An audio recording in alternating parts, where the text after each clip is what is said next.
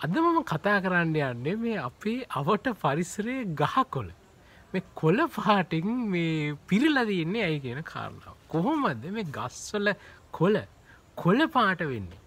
ඒ පිටිපැස්ස තියෙන මේ රසායනික කාරණා මොනවද. ඒ වගේම භෞතික විද්‍යාත්මක සංකල්ප මොනවද. හරීම විසිතුරුයි. අය ගැනම මාද සංශිප්ත හැඳින්වීමක් කරන්න උත්සා කරන්න විශේෂම විවිධ ආදර්ශන භාවිතා කරලා මොකද අපිට ඒක පහසුවෙන් තේරුම් ගැනීමේ හැකියාවක් තියෙන හින්දා. අපි මේ ගොඩක් මේ ගස්තර කොල කොළපාට දැකලා තියෙනවා නමුත් ඒකට හේතුව මොකක්ද කියලා අපි ගොඩාක් වෙලාවට අඳුරගෙන නැහැ.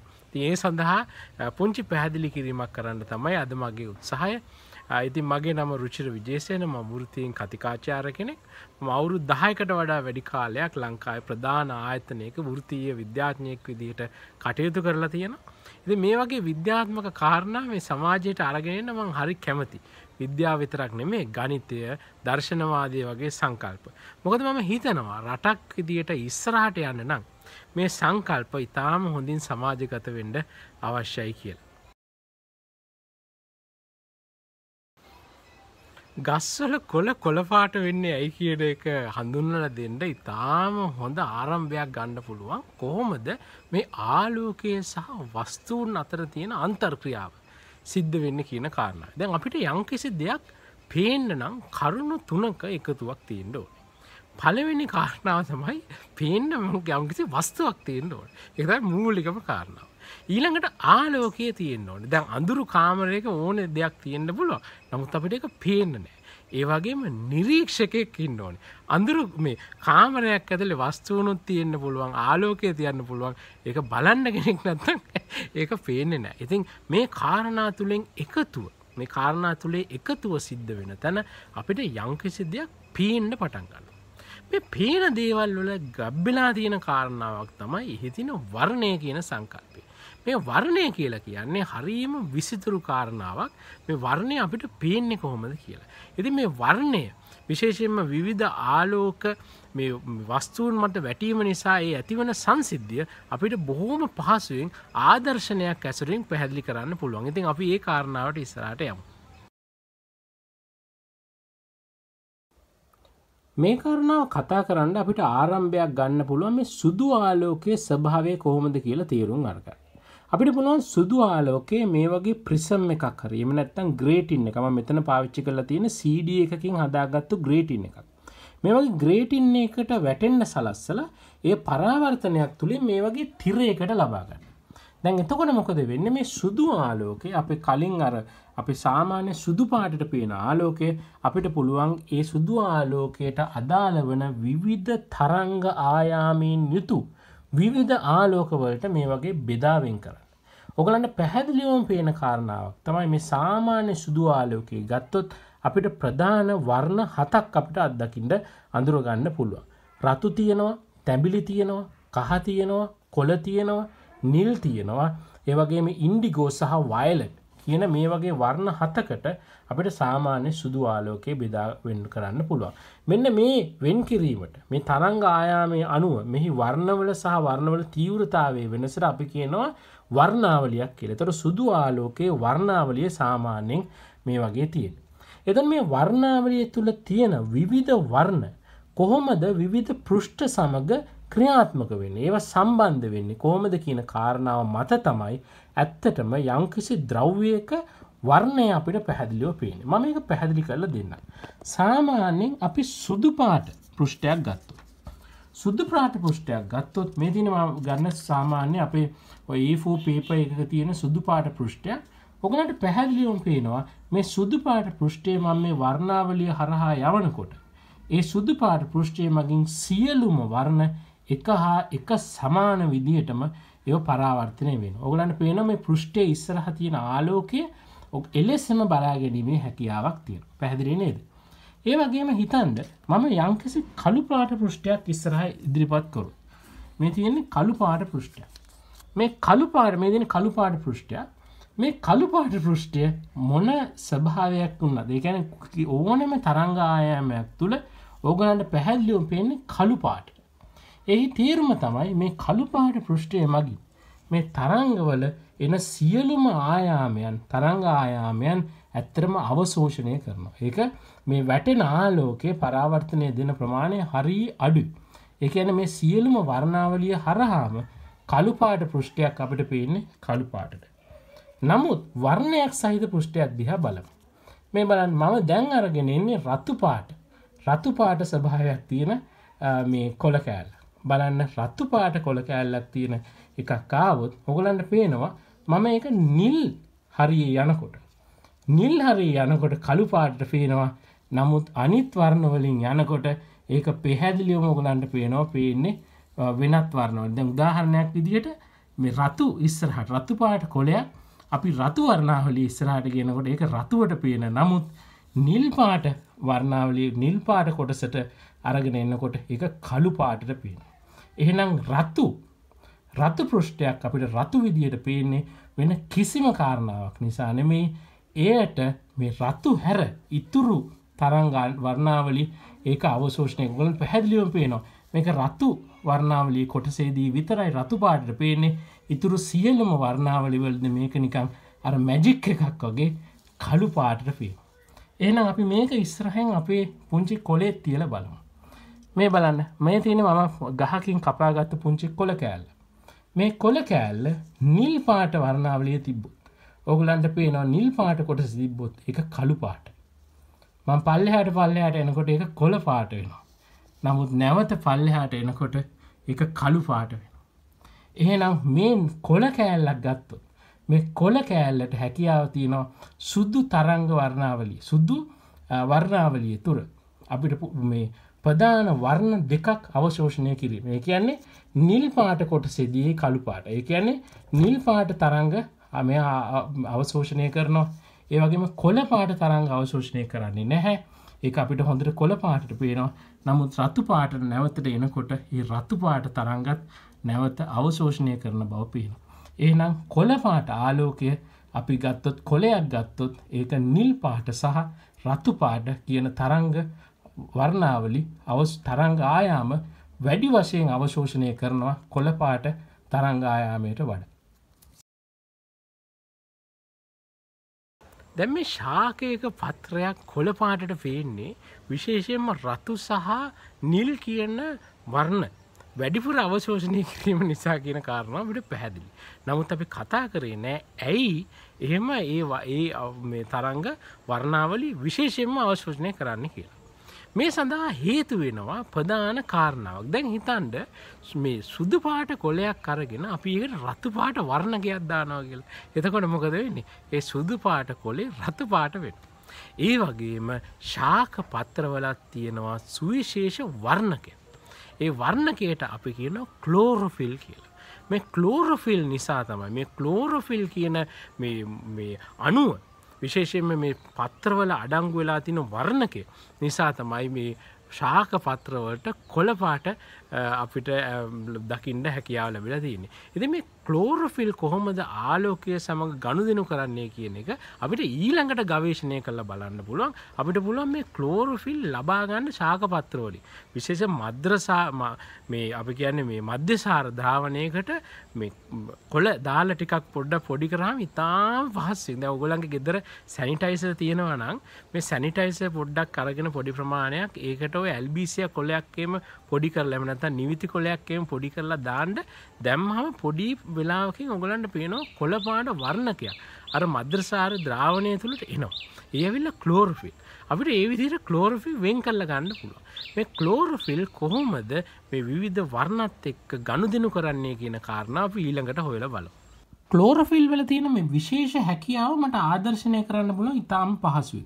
මේ තියෙන්නේ කලෝරෆිල් වතුර ද්‍රාවණයකට හදලා ඒ වතුර පුංචි ටැංගීකට දාලා හදාගත මේ පුංචි සැකසුමක්. මේ මේ කලෝරෆිල් මම ලබාගත්ත කොමද සාමාන්‍ය සාකපත්‍ර පොඩි කරලා ඒක එත්තනෝලිය ද්‍රාවණයකට එකතු කිරීම මගේ. දැ මේ ද්‍රාවණය කොහොමද මේ විවිධ වර්ණාවලිවලට හැසිරෙන්න කියන සමඟ කරන අන්තර්ක්‍රියාමොකක්ද කියන එකින් අපිට පහසුවේ මේ කාරණාව තේරුම් ගන්න පුළුවන්. ඉතින් අපිට ඒකට කරන්න තියෙන්නේ මේ ටැන්කිය මේ වර්ණාවලිය ඉස්සරහට අරංගෙන එක. මුලින්ම නැවත මේ වර්ණාවලිය දිහා ඔගොල්ලො නැවත වරක් බලන්න ඔගලන්ට පැහැදිලිවම පේනවා රත්තු තැඹිලි කහ කොල නිල් ඉන්ඩිකෝ සහ වයිලට් මේ වර්ණ දෙක එකට මිශ්‍ර වෙලා මේක හොඳට පැහැදිලිව බලාගන්න පුළුව. දැම්මම් මේ වර්ණ මේ ටැන්කිය මේ වර්ණාවලි ඉස්සරහට අරගෙන එනකොට. ඔගලට මොකක්ද පේන කාරණා. දැන් කලින් තියෙන්නේ මෙහෙමයි නමුත් මේ ටැන්කීම මේක ඉස්සරහෙන් අරගෙනෙන. ඔගලන්ට පැහැදිලියෝ පේනවාද එක කාරණාවක්. මේක තුළ තියෙන රතු පාට කොටස සහ මේක තුළ තියෙන නිල් පාට කොටස මේක හරහා යන රතු සහ නිල් පාට කොටස අඩු වෙලා තියෙන. නැවතත් පෙන්න්න මේ තියෙන ඉස්සර තිබුණු ප්‍රමාණය එකන්නේ මේ කලෝරෆිල් නැති අවස්ථාවේ මේ තියන්නේ කලෝරෆිල් ටැන්කිය අපේ ඉස්සරහා තියෙනකොට තියෙන ප්‍රමාණ ඔගලන්ට පැහැදිලි ඕම පේනවා රත් නිල් නැත්තනවා වගේ නැතිවල ඒවගේ රතුත් සෑහෙන ප්‍රමාණයකට අඩු වෙලා තියෙනවා ඒකට සාපේක්ෂව මේක නැති අවස්ථාව ගත්තාම. එන ඔගලන්ට පැහැදිලිම පේන කාරණාවක් තමයි. මේ කලෝර්ෆිල් මගින් කරන සුවිශේෂ කාර්ය තමයි මේ නිල් ආලෝකය සහ රතු ආලෝකය සුවිශේෂ වශයෙන් මේක අවශෝෂණය කරන. අන්න ඒක නිසා තමයි එන්න වර්ණ ප්‍රධාන වශයෙන්ම කොල තැම්බිලි සහ කහ කියන වර්ණවලට සීමා වෙලා තින්. ඉතින් කොල තැම්බිලි සහ කහ වර්ණවල එකතුවමකක්ද. අවසානය අපිට ලැබෙන්නේ කොල පාට පොඩි පුංචි කහපාටට හුරු කොල පාට ස්වභාවයක් ඉතින් ඒක නිසා තමයි මේ මේ කොල ඇත්තරම මේ අපේ ගස්සල තියෙන කොල කොල වර්ණයෙන් අපිට දැක ගැනීමේ හැකියාවක් තියෙන්. හරි දැන් අපිට මේ කලෝර්ෆිල් වර්ණකයේ ක්‍රියාකාරිත්තය පැහැදිලීන දැන් අපි ටිකක් සාකච්ඡා කරලා බලමු මේ අනුක පද්ධතියක් විදිහට. කොහොමද කලෝරොෆිල් විශේෂ වශයෙන් මේ නිල් සහ රතු කියන ආලෝක වැඩි වශයෙන් අවශෝෂණය කරන්න කියන කාරණ ඉතින් ෆොඩ්ඩක් රසායන විද්‍යාව භෞතික විද්‍යාව පැත්තට යන කාරණාවක් කලෝරොෆිල් කියන අනුවේ මේ රසායනික විව්වේ තම ම දැම් මේ පෙන්ඩල තිය. ඔගලන්ට පැහැදිලිව මේ රසායනික අනුව තුළ කොටස් දෙකක් අඳුරා ගන්න පුළුවන්. මේ පලවෙනි කොටස ඔගලන්ට පේර පුංචි මේ මුදුවක් වගේ. හරියට සංවෘත පද්ධතියක් ඔගලන් පේනවා නයිට්‍රජන් සහිත මේ ධාමයන් එකතු වෙලා හැදිච්ච මේ වලල්ලක වගේ ස්වරූපයකින්. හැදිල්ල තියෙනවා මේ විශේෂ පද්ධතියක් ද මේ පද්ධතියට අපි කියනවා පෝපයිරීන් රින්න එක කියලා. පෝපයිරින් මුදුව එහමනත්තම් වලල්ල කියලා. මෙහි ඔගලන්ට පැහැදිලි වෙන නයිට්‍රජන් එක්ක සම්බන්ධ වෙලා මැග්නීසියම් අයන් එකක් තියෙන. දැ මේක මුදුවක්. ඒ වගේම තවත් කොටසක් තියෙනවා කාබන් සහ හයිඩ්ඩජන් එකතු වෙලා දාමයක් වගේ දිග කොටසක් වගේ තියෙන. ඇත්තටම මේක තමයි කලෝරෆිල් අනුවදින ප්‍රධාන කොටස් ටික. දැන් ඔගලන්ට පේනවද මේ මේ රිං එක වගේ තියෙන කොටසට අපි විශේෂ නමක් කියෙන මේකට ගෙනම ඇන්ටනාව කියලා. ඇන්ටනාවගේ මොකක්ද කරන්න. ඇන්ටන සාමාන්‍ය රේඩියෝ ඇන්ටනාවක් ගන්නක රේඩියෝ ඇන්ටනාවකින් මොකද කරන්නේ රේඩියෝ ඇන්ටනාවකින් විද්‍යුත් චුම්බක රේඩියෝ තරංග අවශෝෂණය කරන. කලෝර්ෆිල් අනුවත් ඇත්තරම පුංචි ඇන්ටනාවක් වගේ. මේ රිං එක මගින් ඇත්තටම අවශෝෂණය කරනවා. දැන් රේඩියෝ ඇන්ටනාවක් කන රේඩියෝ තරංගනය අවශෝෂණය කරන්න. ඒ වෙනුවට මේ කලෝරොෆිල් එකේ තියෙන මේ අනුවට හැකියාව අර උඩේ තියෙන මුදුවට අපි කියනවා පෝපයිරින් රිං එකට. ඒ රිං එකට හැකියාව තියෙනවා විශේෂ වශයෙන් නිල් සහ රතු කියන වර්ණ අවශෝෂණය කරන්න. තෙරුණා නේද ඒ වගේම දැන් ඔගොල්ලෝ රේඩියෝ ඇන්ටනාව තියෙන ගතන ඇන්ටනාව නිකං තියෙන්නේ වයරෙකුත් තියෙන. ඒ ඇන්ටනාවෙන් අවශෝෂණය කරගන්න විද්දුච්චුම්භක තරංග විද්දුත් සිගනල් එකක් එම නැත්තං මේ පුංචි කම්පනයක් විදිර රේඩියෝ එක වෙත එන්ඩුවන. අන්න ඒ විදියට අවශෝෂණය කරගන්නා ශක්තිය මේ පත්‍රයේ අනිත් පද්ධති විතර ගමන් කිරීම සඳහා කාබන් සහ හයිට්‍රජන් වලින් සබන්ධිත වෙලා හැදිල හැදිච්ච දාමයක් පයිටෝල්ෂයෙන් කියලා අපි මේ හඳුන්න පයිටෝල් දාමයක් දැක ගැනීම හැකියා තිනද මේ කොටස් දෙකින් තමයි ඇත්තරම කලෝරෆිල් අනුවක් හැදිලා තියෙන්නේ. මම ඊළඟට කියලා දෙන්න මේ කලෝරෆිල් අනුවේ තියෙන ඇන්ටනාවෙන් කොහොමද විශේෂයම නිල් සහ රතු කියන වර්ණ අවශෝෂණය කරන්න කියලා. ඒක වෙන්න මෙහෙමයි. ඔගලන්ට පේනවද මේ ඇන්ටනාව බොම සංවෘත ස්වභාවයක් තියෙන විශේෂම කාබන් නයිට්‍රජන් මැග්නීසියම් ඒ වගේම හයිට්‍රජන් කියන පරමාණුවලින් තමයි මේක හැදිලා තියෙන මේක සංවෘත පද්ධතිය. දැන් මේ මේ සංවෘත පද්ධතිය කොහොමද හැදිලා තියෙන්නේ? ඒ හැදිලා තියෙන්නේ විශේෂයෙන්ම කාබන් නයිට්‍රජන් මේ හයිට්‍රජන් කියන මේ පරමාණු සහ සංයුජ වශයෙන් බන්ධනය වෙලා. සහසංජන බන්ධනයක් කියන්න මොකක්ද මේ ඉලෙක්ට්‍රෝන එකිනෙකා අතර හුවමාරු කිරීම නැත්තං මේ සමසේ බෙදා ගැනීම නිසා ඇතිවන බන්ධනයක්. මේ කාරණාව නිසා සහ මෙහි මේ රිං එකක් වගේ එම නැත්තම් මේක සංවෘත පද්ධතියක් වගේ තියෙන කාරණාව හින්දමකොද වෙන්නේ මේ මුළු මුදුවම මේ මුළු මුදුව පුරාම පැතිරිලා ගියපු ඉලෙක්ට්‍රෝන වලාවක් මේ තුළ තියෙන. ඉලෙක්ට්‍රොන වලා. ඉගෙන හරියට මේ මුද්ද වටේ වැටල කැරකෙන මේ පුංචි ඉලෙක්ට්‍රෝන වලාවක් මේ වටේ තියෙන. දැන් මේ ඉලෙක්ට්‍රෝන වලාවට හැකියාව තියෙනවා විවිධ ප්‍රමාණ. මේ ඉලෙක්ට්‍රෝන වලාමත යංකශ ශක්තියක් වැටුණොත් මේ ඉලෙක්ට්‍රෝන වලාවට හැකියාව තියෙන ප්‍රමාණයෙන් සහ ශක්තියෙන් විශාලවෙන් අපි මේකට ගෙන එක්සයිට් වෙනවා කියලා. ඒ ඒ කලව් එක ඉලෙක් එනජිය එක එක්සයිට්වීමට ලක්වෙන්න පුළුව දැන් මේ එක්සයිට්වීම සඳහා ඉහළ ශක්ති හැකියාවට ඒම සඳහා ශක්තිය අවශ්‍යයි. තේරුණා නේද. එතකොට මේ ශක්තිය කොහෙන්ද එන්නේ. මේ ශක්තිය හරියටම අර ඉලෙක්ට්‍රෝන් වලාවේ ඒ ඒ පද්ධතිය හැදිලා තියෙන්නේ කොහොමද මේ අවකාශයේ ඉඳලා එන නිල් පාට සහ රත්තු පාට ෆෝටෝනවල අපි දන්න ෆෝටෝන කියල කියන්නේ මේ ආලෝක අංශු ආලෝක ශක්ති අංශු මේ පෝටෝනවල ශක්ති ප්‍රමාණයට සමවෙන්ඩ තමයි ළඟවෙන්ඩ තමයි මේ මේ ශක්ති මට්ටම හැදිලා තින්නේ. ඒක නිසා මොකද වෙන්නේ විශේෂයෙන්ම නිල් පාට සහ රතු පෝටෝන මේ ඇන්ටනා මත වැටුනහම මේ මුළු වලාවම ඒ ශක්තිය අවශෝෂණය කරගෙන එක්සයිට්ටෙන්. නමුත් කොළපාට වරණ ඒක මත වැටුනට අර ඒ විදියට එක්සයිට්වෙන්ඩ බෑ මොකද අර මේ එක්සයිට්වන ඒ අවශ්‍ය වන එනජී එක ලබාදීමට හරියටම ලබාදීමට හැකියාව තියෙන්නේ විශේෂම නිල් සහ රත්තු ෆෝටෝනවලට විතරයි. අර කොළපාට ෆෝටෝනවලට ඒක ලබාදීමේ හැකියාවක් නෑ. අන්න ඒක නිසයි විශේෂයෙන්ම රතු සහ කොළ වර්ණ සුවිශේෂී වශයෙන් මේ කලෝරෆිල් වල තියෙන ඇන්ටනාවක් මගින් අවශෝෂණය කරන්නේ කොළවර්ණය අවශෝෂණය නොකර. මේ කාරණාව නිසා මොකද වෙන්නේ අපිට මේ කලෝරෆිල් වර්ණය මේ කලෝරෆිල් වර්ණකය කොළ පාටට පැහැදිලිව පේනවා. ඉතින් මම හිතනවා මේ කාරණාව ඔගලන්ට වැදගත් වෙන්න ඇති කියලා විශේෂයෙන්ම මේ තියෙන භෞතික සහ රසායන විද්‍යා සංකල්පය කොච්චර විසිතුරු සංකල්පයක්ද කියන කාරණාව තේරුම් ගන්න. ඉතින් නැවතත් අපි පසුදිනයක මේ වගේ වැඩසටහනකින් සමුවෙමු.